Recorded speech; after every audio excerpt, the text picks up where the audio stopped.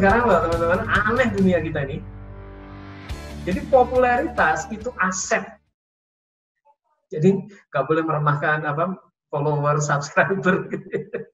popularitas itu bahkan sekali tweet aja kalau Raffi Ahmad atau Sule yang sudah subscribernya 5 eh, juta lebih itu eh, YouTube tinggal colek JNE pasang iklan minum kopi apa silus atau apa tuh jadi iklan. Nah, itu karena popularitas.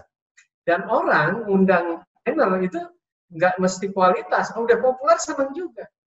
Suatu saat saya pernah diundang karena buka puasa mepet sama beduk maghrib ternyata pejabatnya ngomongnya ke kelamaan.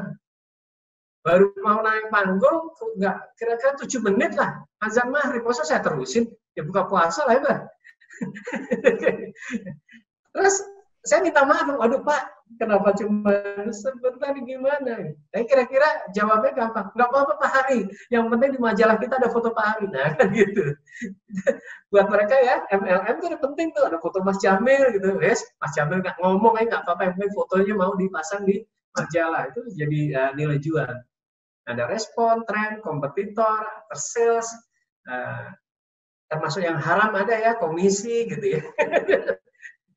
Jangan lakukan ya, doa tentu ya, maka grupnya besar banget. Nah ini nih saya kirim videonya aja nanti linknya.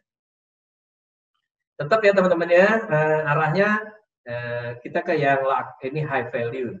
Dulu ada Mas Birzal atau apa yang nulis buku itu ya Pak. Ya kira-kira uh, pilihan kita jangan ke yang low, dah usahakan high value saja supaya long term. Jadi ada trainer yang dua tahun terus hilang, ada yang satu tahun terus hilang, itu kira-kira uh, kurang apa ya, kurang semangat untuk membuat uh, value-value baru. Iya. Ya, jadi low price, high quality akan jadi opsi di new normal ini. Nah ini brand kita, atributnya banyak. Ini saya copy aja dari Google nih, bahwa kalau bangun brand artinya hampir semua atribut lah baju Anda, cara ngomong Anda, uh, status Facebook Anda, video-videonya, uh, kemudian bahasan, uh, training, foto training ya. foto training di koleksi itu ya, itu jadi brand tuh nanti itu kalau diupload di sosial media. Uh, ini nah. Terus teman-teman, walaupun populer itu aset, tapi ingat top of mind bukan top of sales ya. Jadi ada orang yang ngetop banget di sosial media segala macam, belum tentu uh, sales trainingnya laku. Ya, Misalnya eh, sering komentaran politik pasti ngetopnya cepat gitu ya. Nah, Anda di Facebook upload foto Pak Jokowi pasti banyak komentar ya. Hari ini saya uh, agak sepi apa pengunjung, saya upload foto apa KPU yang ketangkep itu, wah komentarnya ramai ya kira-kira gitu ya. Nah, penyebabnya apa? Penyebabnya top of mind nggak top of sales itu seks kurang cetar.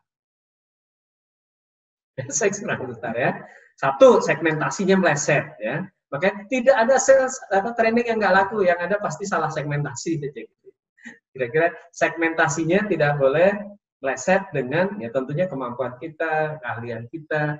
Ini segmennya ke mana? Kalau gaya muda, apakah ke milenial atau atau ke perusahaan besar, corporate, atau kalau mau mengejar leadership itu ke level supervisor atau direktur, salah segmen bisa nggak Dua, expired teman-teman. Jadi kalau Anda Eh, menawarkan training secara offline sekarang pasti nggak laku ya, nggak tren, trennya udah tertinggal. Tapi kalau buka secara Zoom mungkin masih ada respon. Nah, offline harus misalnya dengan uh, social distancing dan segala macam. Kompetisi kalah, ya. kalah kualitas, kalah harga, kualitas, attitude, tidak upgrade. ya Teman-teman, pokoknya kita kehilangan hak mengajar kalau berhenti belajar lah kira-kira ya. Tiap hari belajar, kalau nggak belajar tiba-tiba nah, kuno amat gitu Manajemen is misalnya doing thing through other people. Udah diketawain orang kan? Wah itu zaman tahun 80 mas. Kalau mengambil keuntungan sebesar-besarnya dengan ini sedikit-sedikitnya nah itu udah kuno gitu. oke ya. Cedera citra ya. oh, hati-hati cedera citra ya. Kena saraf itu juga pengaruh. Tahu ya teman-teman saraf apa? Suku agama ras anatomi politik. Nah politiknya lagi seru tuh teman-teman jadi kalau uh, dulu zaman Pak Jokowi Prabowo gitu, itu bisa karena ini tidak tidak diundang, ya, tidak dipilih. Itu sangat. Jadi eh, hati-hati saja. walaupun ada yang kuat ya kuat contoh yang misalnya Mas Andi Sukma Lubis itu kan nekat aja kan tapi ya karena kualitas trainingnya belum ada pesaing yang mumpuni masih masih masih jalan nah ini contoh-contoh bahwa teman-teman Anda adalah persepsi ya kemudian nih brand nah, new normal ini strateginya bisa macam-macam tapi kemungkinan banyak kan didiversifikasi karena new product new market ini strateginya kan beda-beda ya. Jadi teman-teman kadang-kadang wah ini ya contohnya kalau anda punya outbound training yang masih offline ya pasti nggak bisa ya mau nggak mau harus new product. Mungkin market lama masih mau, tapi karena online training market makin luas lebih baik sekali new market. Jadi karena online itu eh, misalnya anda pintar bahasa Inggris, oh boleh tuh anda buka account PayPal orang luar negeri bisa ikut Zoom training anda kalau Inggrisnya lancar kan oke okay aja gitu ya. Jadi marketnya sampai luar negeri. Atau bisa bahasa Jerman ya marketnya uh, Jerman ya. Putrinya Mas Jamil kan. Sprechen Deutsch oke, tentukan unique value. Nah ini nih. Clarity access. Jadi di, dunia online atau trainer marketingnya adalah kejelasan itu penting, kemudian gampang diakses. Gampang diakses dalam arti Uh, diketik di Google ketemu, uh, di Facebook ada, di LinkedIn ada, di Twitter nemu, ada gampang diakses. Jadi kalau mau misalnya Mbak Mayang, tinggal ketik Mayang, eh ternyata ketemu nomor satu adalah harus malam ini. Ah, salah alamat nih. Ini Mayang Sari nih. Jadi harus Mayang yang uh, customer service, ya. Pak itu kejar-kejaran terus. Oke. Nah, ini boleh nih cek lagi profilnya di zaman new normal ini. Ada yang perlu diedit-edit nggak gitu ya. Kadang-kadang kita males ngubah gitu, padahal ini bisa jadi ada satu kata yang membuat orang tidak uh, jadi manggil kita misalnya ya. Nah, trainer ini teman-teman, Anda adalah produk loh. Jadi segala sesuatu, kelakuan segala macam udah jadi brand dan Anda adalah produk ya. Oke. Nah, pricing teman-teman ini perlu pertimbangan. Saya, saya bisa kirimkan video bahasanya, saya udah buat. Jadi pricing atau kan teman-teman nanti dia ada di login ya di Etusi for Trainer. Jadi udah ada semua nih. Jadi kira-kira untuk memberi harga pertimbangannya banyak sekali. Ada yang dominan, ada yang tidak, tergantung nanti materi training Anda ya teman-teman ya dari perusahaannya, jumlah eventnya, peserta. Jadi kalau kadang-kadang ngajarnya sama-sama satu hari, tapi yang satu hari bisa harga 60 juta, yang satu hari bisa 15 juta. Gara-gara mungkin faktor jumlah peserta atau level peserta. Sama-sama satu hari, sama-sama 20 orang, yang Anda ajar level direksi, sama yang ajar level supervisor bisa beda. Jadi uh, pertimbangannya banyak.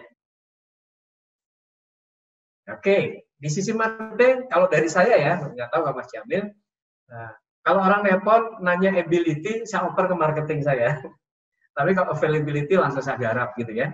Tanggal ini bisa Pak, oh itu berarti availability. Pak Hari bisa ngajar creative thinking nggak? Ability ini belum kenal nih. Kalau belum kenal, saya kenalin sendiri, kadang-kadang kurang nonjok tuh. Kalau yang ngomong marketing kan mau puja-puji cocok-cocok aja, nah bukan dirinya sendiri. Oke ya, sama aja kalau perkenalan lagi training, Anda baca sendiri tuh nggak enak ya. Nah, kalau hari ini mulai uh, memasarkan, kan udah ada surveinya ya. Jangan buru-buru ya, jangan cepat frustasi. Tiga bulan itu paling cepat lah kalau bikin modul baru, bikin apa baru gitu. Jadi kadang-kadang, wah saya mau buka kelas Zoom nih pertama kali. Belum laku ya, sabar, baru pertama. Bikin dulu, yang kelima, siapa tahu laku ya. Kadang-kadang kita udah udah minder dulu dikirain nggak laku, padahal iklan kita nggak nyampe ke uh, target market iklan kita uh, spreadingnya masih minim misalnya baru 100 orang 200 orang padahal Indonesia ada juta-jutaan ya kecuali kalau misalnya anda udah iklankan di Facebook Ad dengan segmen yang benar kemudian apa targetnya berapa misalnya 10 ribu uh, ngeklik berarti kira-kira kan 10 ribu orang itu bisa tuh nah ini survei bisa membuat kita lebih sabar tiga bulan Nah, promotional channel, oh radio, ini TV, flyer. Tapi yang paling penting di sinilah ya, di panggungnya ya teman-teman, panggungnya keren, cepet gitu. Orang dengerin Mas Jamil seru, lucu gitu ya. Uh, kisahnya kuat, pernah dilempar bambu kepalanya siapa nggak terenyuh betul nggak? nah, uh, bisa nangis kan gitu. Jadi orang, wih, panggungnya apa zaman dulu ada apa istilahnya entertainment entertainment entertainment oh mas entertainment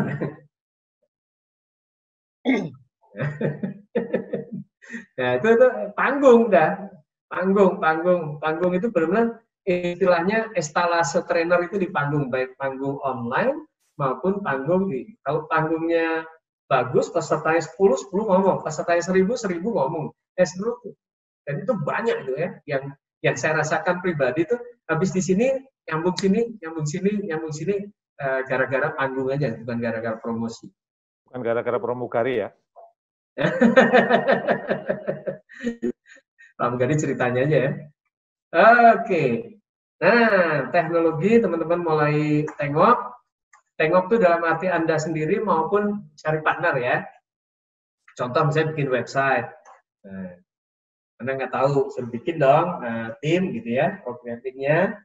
Uh, sekarang juga ada, misalnya mau kirim email secara massal ya, infakta bisa beli atau WA ya, WA ada yang harga 600 ribu ya, bagus tuh ya buat anak-anak negeri.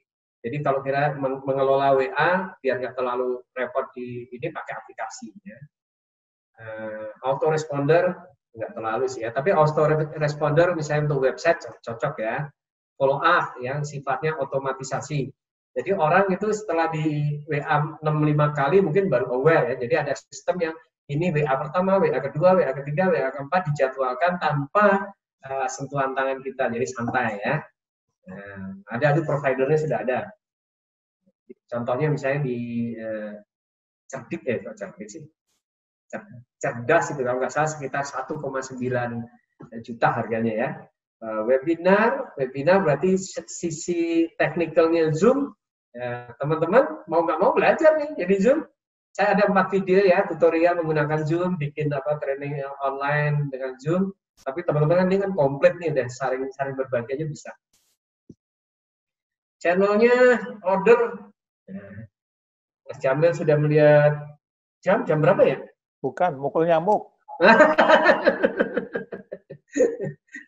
Oke, uh, ini channelnya uh, bisa artikel jadi channel jadi order website jadi order sosial media bisa sahabat SMA SMP ya. Makanya kalau sekolah jangan nakal gitu. Jadi masih punya teman banyak. Ya, saya sendiri merasakan itu eh, teman-teman SMA ya. Bisa pakai Akmil karena ada teman SMA bisa pakai Lanut ya. Bisa pakai Bandara Jogja dua jam gara-gara teman SMA Eh, mantan kantor juga masih bisa ya, komunitas, milis, buku, radio, televisi, YouTube, apa pun teman-teman. Sehingga teman-teman itu mudah diakses saja. Jadi clarity siapa jelas mudah diakses. Ya, insya Allah untuk sampai ke sedekah juga boleh. Promosi ya, oke. Okay. Ibu mau bikin buku ya, on maklar rezeki itu pasti uh, akan jadi order gitu. ya takla rezeki oke okay. uh, website uh, foto ya foto. Nah, foto itu juga penting teman-teman. Saya kalau ambil foto ya foto-foto yang menarik gini ya tertawa gitu kalau foto orang ngantuk nggak bakal saya pasang di website di flyer. Paling saya tutupin uh, tulisan time to change kalau ada yang pas ke foto. Karena saya biar kelihatan uh, menarik sesinya. Jadi pemilihan foto contoh gini ya, saya lebih senang ngajar di kelas di atas 100 orang. Kenapa? Satu, durasinya biasa nggak panjang, dan harganya lebih bisa bagus. Jadi yang lebih banyak saya upload di Facebook itu adalah foto-foto yang audiensnya banyak. Yang ngajar 10 orang, 13 orang, males gitu ya. Kenapa? Biasanya harganya kecil, kemudian eh, apa? Harga kecil, durasinya yang dua hari, tiga hari. Nah, itu itu uh, pemilihan aja ya. Awal-awal dulu sih ini. Tapi ini untuk menggiring opini market bahwa uh, hari sebagai adalah pembicara yang biasa di depan orang banyak. Uh, kemudian uh, ada seru-serunya, ada isinya, menyenangkan itu memang uh, by design yang saya create gitu, supaya market melihat saya tuh seperti itu. Oke, okay. nah, boleh radio, televisi, nah, ya kira-kira nih keren, nyampe juga. Nah, 100% berhasil cukup keras dan cukup sering memukul. Batu pasti pecah ya teman-teman ya. Oke, terima kasih. Silahkan kalau ada mau ini. Masih oke okay semua nih, kita cek. Iya. Oh, oke, teman-teman semua boleh dong kasih reaction jempol dulu atau tepuk tangan untuk Pak Hari Subagia. Oh, ada yang Kang Novi hadir. Wah, ini jempolnya langsung banyak banget Pak Hari. Silakan teman-teman semua, uh, jika ada yang ingin masih ditanyakan atau ingin didiskusikan dengan Pak Hari, saya buka sesi tanya jawab dulu sebelum nanti mungkin uh, kita tutup keluar kita. Keluar cool on ya, salah ucap. Silakan ada yang mau bertanya? Mas, sebelum lupa ya, karena ini uh, di akhir. Jadi teman-teman, hmm. semua teman-teman nanti saya kasih hak akses untuk e 2 zfotrainer.com. Di sana ada video-video yang sudah saya siapkan mengenai humor, mengenai delivery, mengenai marketing, mengenai konten lebih detail ya, termasuk mengenai Zoom, ya itu sudah siap. Kemudian termasuk link downloadnya ebook sudah dipasang di sana.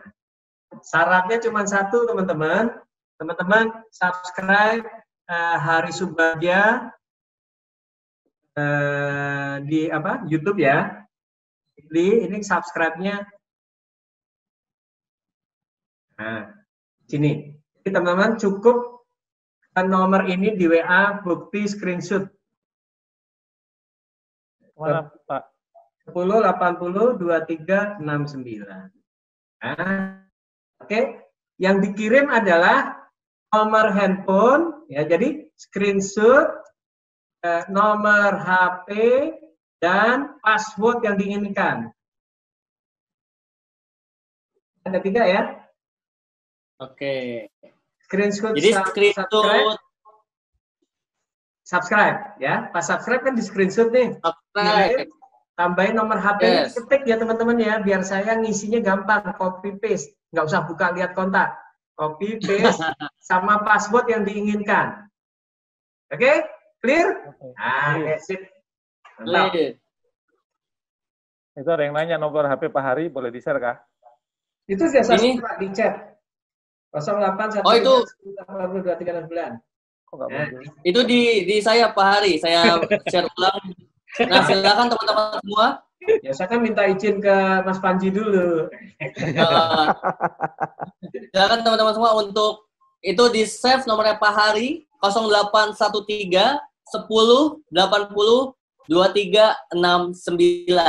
Oh, lalaunan, Kang Panji lalaunan. Nah, harusnya ke everyone ya. Everyone. Ada yang mau nanya tadi kayaknya siapa? Silakan. Kang Panji. Yuk, Kang Usman, mangga. Mangga, mangga. Uh, Pak Hari atau nuhun ya. Nuhun, sami-sami. Pak Hari aslinya orang mana sih ini? Saya orang Solo Tigo. Oh, Solo Tigo oh, atau Haro Subagio harusnya Pak ya? Ya, boleh. Pak Hari, yeah. kalau tadi kan ngebahasnya kebanyakan itu personal branding ya. Kalau saya nih punya bisnis training, sama peng sama ingin membranding personal gitu. Mana sih yang harus didahulukan? Bisnis trainingnya atau personal brandingnya kira-kira Pak Hari? Jadi sebenarnya di dunia training itu ada training level 1, level 2, level 3, level 0 gitu ya. Tapi uh, saya ambil ujung-ujungnya ya teman-teman ya. Kalau level 1 berarti branding pribadi gitu ya. Kira-kira level tertinggi itu kayak Dale Carnegie, John Robert Power, gitu. orang yang meninggal masih jalan. Jadi uh, metodenya adalah buat materi, kemudian semua orang trainernya diajarin. Saya itu pernah 54 kota bareng Dale Carnegie, teman-teman. Nah, saya sampai tahu menit ke 38 trainernya pasti akan ngambil bantal. Jadi saya di di setiap tempat ini sebentar lagi ngambil bantal nih. Ah benar ya, sebentar lagi ngambil. Wah keren banget, presisi. Gitu. Nah kalau Mas tadi Mas siapa ini Mas?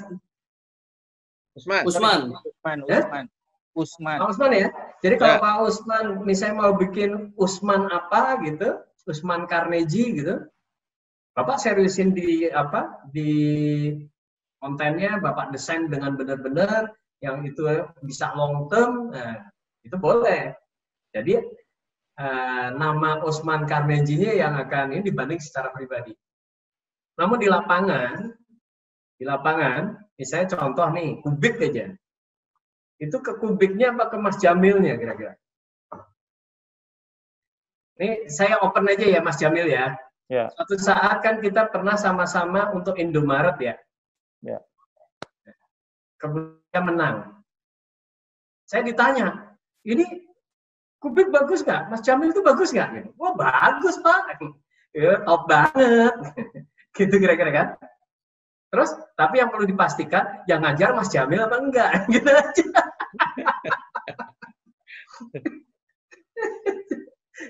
Jadi, contoh juga ya, di Pak James B itu dulu juga punya level apa trainer. Jadi memang harus bangun brand. Nah, kalau di ya. publik ini salah ya, akademi trainer salah satu yang bagus adalah lihat ya misalnya alumni alumninya seperti Mas Adriano Giovanni ya gitu. Namanya juga muncul kan, muncul ada Mas Andra, namanya secara brand pribadi kan nongol, nongol juga tuh. Andri Sukmak Lubis, jadi sebenarnya trainer Indonesia itu banyak tuh yang keluaran dari trainer akademi. Jadi optimis saya teman-teman. Pas Kadar ya kan muncul tuh nama ada siapa lagi tuh yang cukup banyak lah, cukup banyak. Jadi eh, strateginya mau level 5 atau level 0, monggo itu pilihan.